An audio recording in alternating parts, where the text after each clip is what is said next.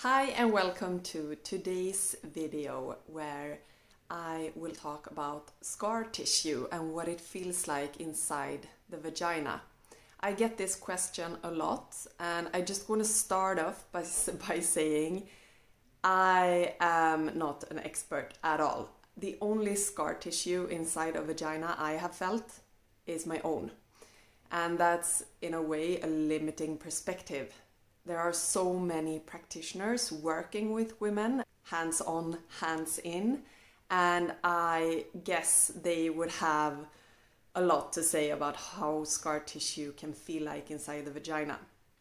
The good thing with experiencing in your own body what scar tissue feels like is that you will get to practice the sensation from both angles, both from your hand perspective and from the inside of your vagina perspective, which can give you a lot of clues. But it is a bit complex, and I'm going to share in this video everything that I have learned on my own journey of healing prolapse and other pelvic floor dysfunctions. So, the first thing I am going to do is to share a bit about my own story on how I came across this method of working with scar tissue to heal prolapse. And after that, I will really try to make it clear for you how scar tissue can feel like inside the vagina. And the reason I have decided to do this video, even though I am not an expert, is because I couldn't find any information myself out there. So even if there are experts out there, they don't share a lot of information about this. So at least this video will be a start. I do definitely recommend you to go to a scar tissue remediation practitioner if you have anyone in your area that could do hands-on hands-in work or you could find a physiotherapist that work with myofascial release which would be quite similar. Okay, so my own story about scar tissue remediation is that when I was searching for any root cause to the prolapse that I was experiencing, I quite soon came across the work of Dr. Ellen Heed. And she's the founder of Scar Tissue Remediation. And she just talked about scar tissue and the pelvic floor in a way that the first time for me made sense. What the doctors had said, what the physiotherapists had said, it didn't really appeal to me, or I didn't really believe what they were talking about. And I just find it so interesting that none of the healthcare practitioners have talked about scar tissue, even. And though I know that my vagina is very different from you know before giving birth and now. It's so much better now of course that i have worked with the scars and i am continuously working with the scars to heal them and to remedy them. It's a huge difference and it's like no midwife ever told me you know whoa this is a big difference. Uh, i guess you are you know experiencing some kind of symptoms from this. It's just like everything looks normal. You go home and do your kegels and that's the recipe you get. So I went online searching. It took a lot of energy, a lot of time, you know, having babies and um, my family to take care of and try to heal at the same time. When I finally started to read up on scar tissue remediation, I realized, okay, I I need to face this area. I need to, you know, work internally in my vagina in the pelvic floor and really be hands on with the root cause. And that frightened me so much. I didn't even even want to think about my vagina. I, you know, I did steaming, I did hypopressives, I did things, but it wasn't, you know, really coming close to the root. So when I realized, okay, I really need to face this, I I tried a couple of times, but I just cried. Like when I when I was going to find the scar tissue, I took my hand and my fingers inside the vagina, and everything I was feeling was a big hole, like, and a very like bony structure.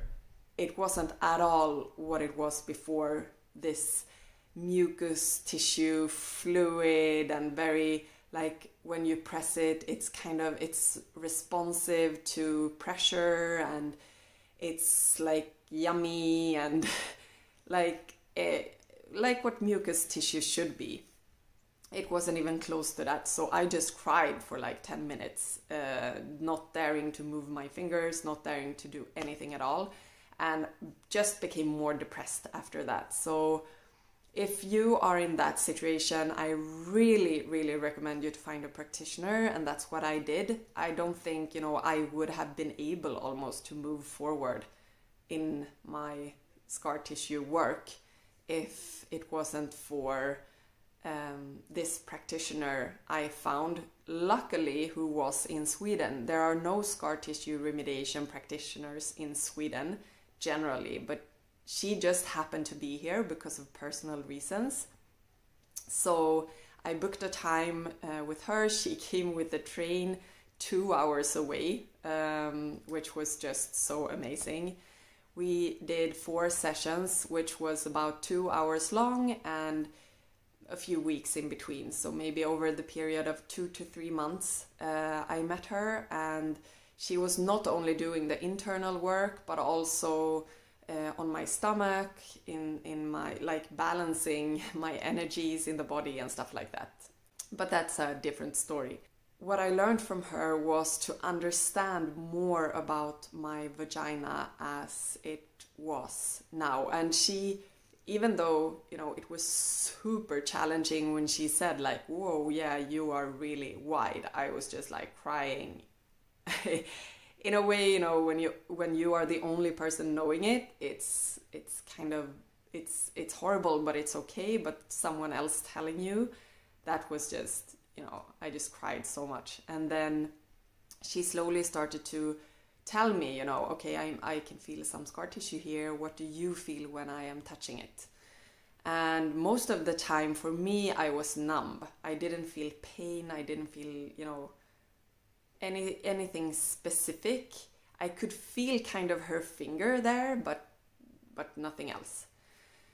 But as we continued to work on the scars, more and more emotions popped up. I was still quite numb in the area, but but after a few sessions, I could connect it more to different situations of trauma in my life, which was a good sign because then, you know, something in the nerves, in the fascia, something was shifting and connection was coming back. So after the sessions with her, um, she actually went back to the States for a while. Had no other choice than continuing the work on my own. And then I realized I want to do it for a shorter period of time, but every week, at least every week.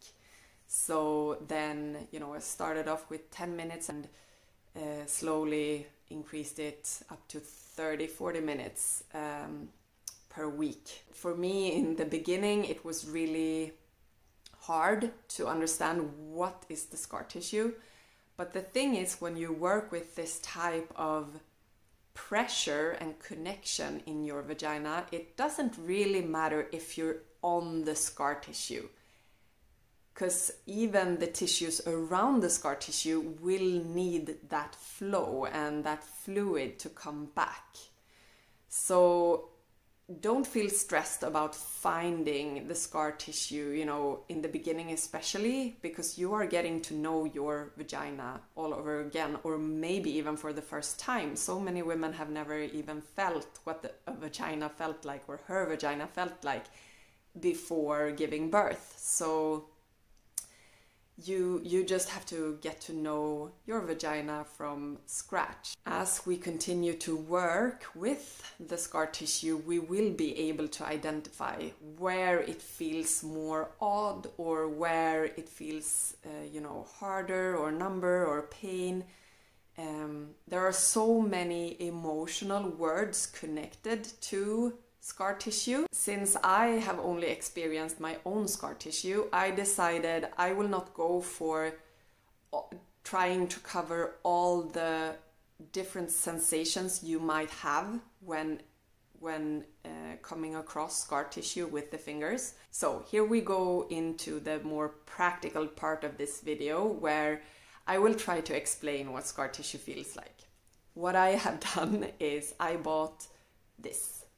This is slime. it was the closest uh, to mucus tissue that I could come up with. So it's, you know, it's a bit too slimy, of course. It's like mucus tissue won't be stretchy like this, hopefully.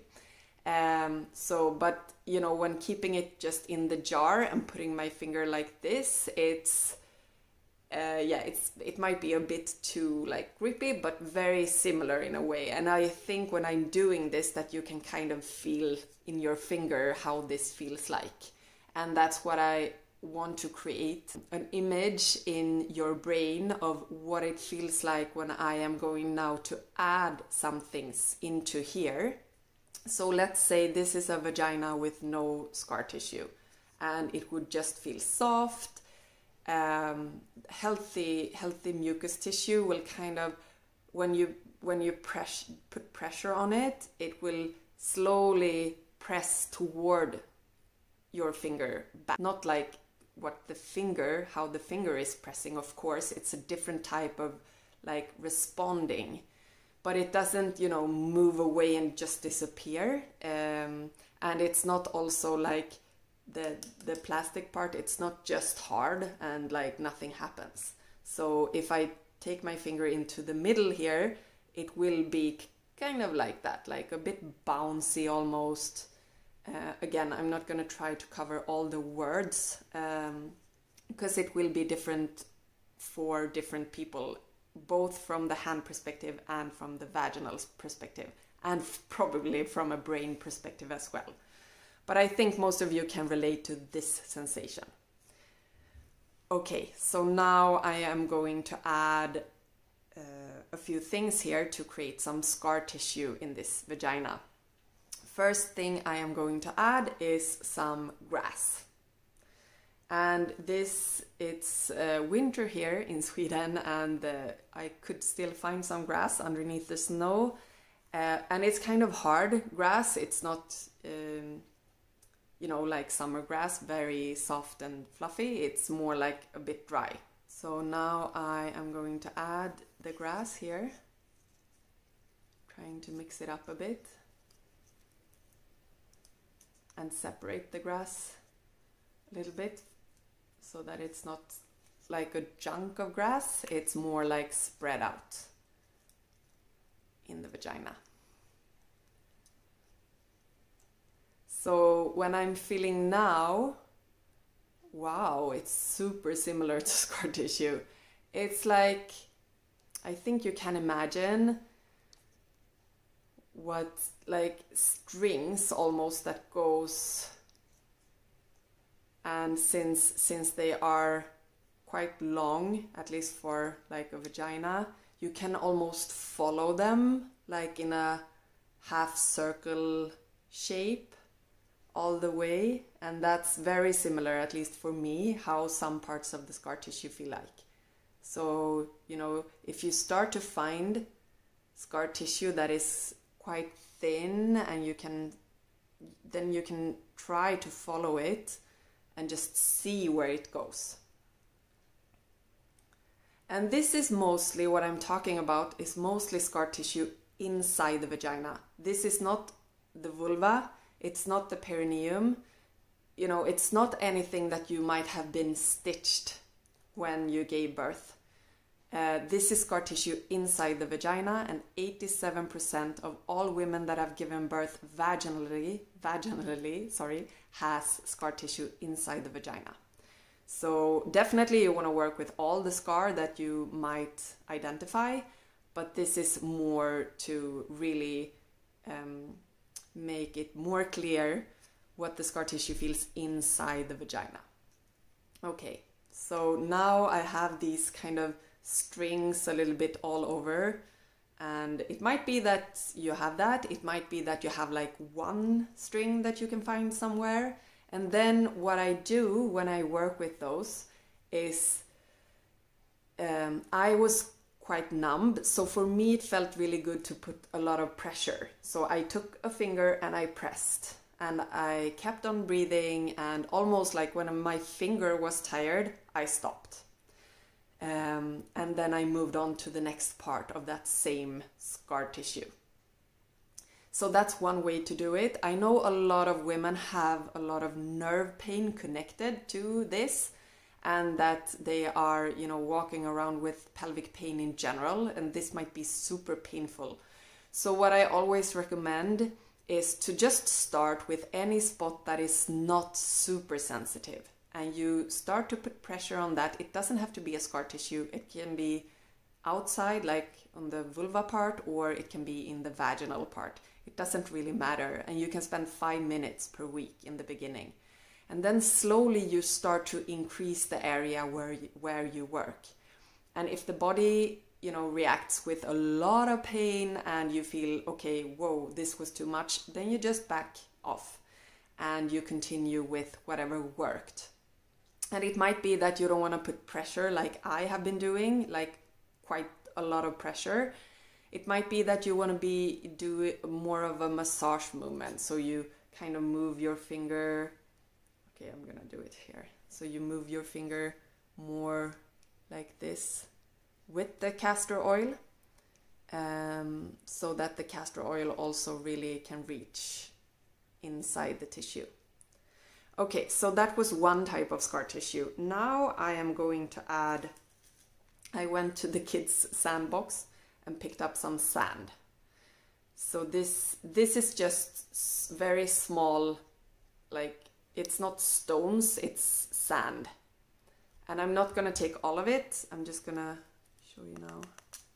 Just gonna add a little bit, yeah, like that. And I'll try to mix it with the slime because usually it doesn't feel, you know, grainy. It wouldn't be like this, of course. So I need to really get it into the slime make it more realistic.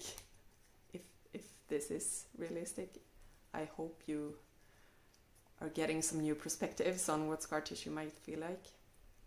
Okay, so now, yeah, now I can feel it is grainy, but it's behind the slime, like it's behind something. And for me, the first time when I was so super wide, it it actually felt like I was pressing toward this hard part and only like a super thin cover of of the tissue was over like the sand.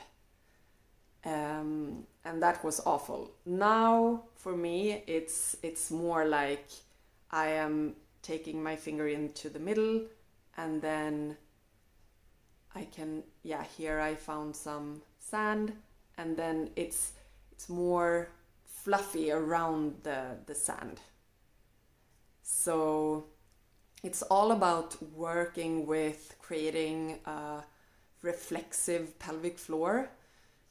So many people talk about, you know, creating a strong pelvic floor, and that's why they do a lot of Kegels. But this is, you know, all the methods that I have been using and that we use in the No Kegel system. Uh, also, all the videos I share here it's all about like a, a reflexive pelvic, pelvic floor which will be able to respond to the daily activity that you are doing. So you know if you have to lift something heavy if you need to run to the bathroom like your pelvic floor should be there to support you. That's the purpose. Uh, you don't have to be a you don't have to have a super strong pelvic floor necessarily, just a, a pelvic floor that supports you. Okay, so that was the more like grainy sensation. Um, and same thing, you can press either for a long time and just breathe, trying to acknowledge any emotions that comes up. If you want to put on, on some nice music, relaxing music, if you want to light some candles, you know, whatever makes you feel safe. Also, try to keep yourself warm, like be in the bed with a lot of pillows and covers. Um, and I talk more about the practical stuff in the other video where I guide more through scar tissue remediation and how to practice it. Okay, so that was a different type. Now we have two more types that I wanted to try to visualize. These are stones, small stones, so they are bigger than the sand and probably we won't have so much of these. So I am just going to add one, this was too big I think. One, two, three, four maybe by the end of the scar tissue that might feel more like grass. It might be a, a bit of a bump like this. So let me see now. I have never done this before, so I'm just gonna, you know, experiment. Yes, so these sunk in very fast, pretty well. And yeah, so they are, it's like small knots. And for these ones, I would definitely try to press like a little harder if it's possible for some time. Otherwise, again, you can just massage it with the castor oil, organic castor oil, and just work a bit around the the stones or the the knot. Um, and then just see what comes up. Is it pain? Do you have any memories around it? Do you want to cry? Is it grief? Is it whatever comes up? You just try to stick with the emotion as you either press, press, sorry, or you massage. But the pressure is super important because that is what is going to get the fluid going in this area. So that was a different type of scar tissue. And now the last one, I found this. This is just a bit of different shape. It's something that I um, picked from a tree and as you can see it's quite edgy here and also on this side. So I'm, I am going to add a few of these here and then mixing it. Okay, yeah, yeah, so this is, um, these are almost melting in better, but I can still sense something is there. It's not like the stones, it's not like the grains, it's not um, like the grass. It's more like they are there, but it's almost so that I could be able to think these are a part of the structure inside the vagina, if you know what I mean so it's they feel almost more natural because now I don't feel those like the pointed part of it. They are on the like flat on the side, uh, which was actually a very good symbol because those scar tissues are probably the hardest ones to find. Um, so yeah, then you know same thing. Now i have a mix of a lot of scar tissue in here and i'm i'm just gonna move my finger very slowly. Always you know cut your nails. These are probably too long. Cut your nails wash your hands prep everything as in the, the other video. Uh, have the castor oil there make sure you're warm. And then you know you can always start to just massage outside of the in the vulva part and perineum and then slowly you start to just see by by the entrance you can stay you know here in the opening for quite some time. And just you know feel around here try to identify any scar tissue and if you do you stay there. And you can stay like spend three four five minutes here and then once you if you find scar tissue, you stay and work with it. If you don't find it and you feel, you know, this feels quite good like normal mucus tissue, then you can take the finger a little further in and you just work all the way around there. So you slowly work your way toward the inside and then at some point you will feel your cervix Um, and you will work around the cervix and you know also in, in on the top here you will have your pubic bone and you can take your fingers like how do I show it? Like if if the pubic bone is like this you can take your fingers and work here and press. Especially if you have a bladder prolapse this is an important part. And same thing you can go with the thumb toward the anus and press here like down if your anus is here and pubic bone is here. You press like this and work all the way around here.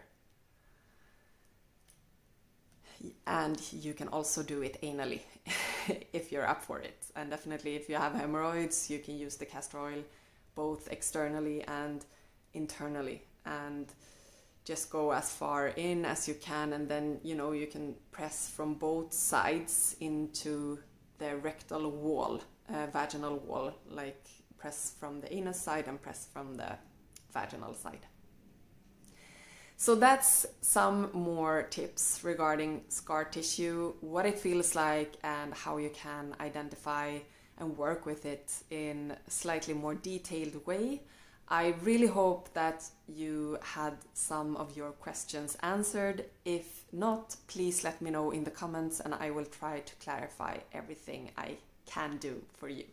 Thank you.